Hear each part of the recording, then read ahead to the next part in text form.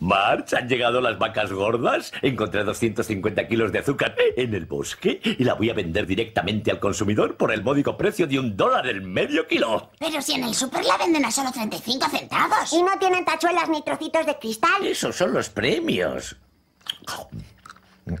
Uh, un tapón de gaseosa.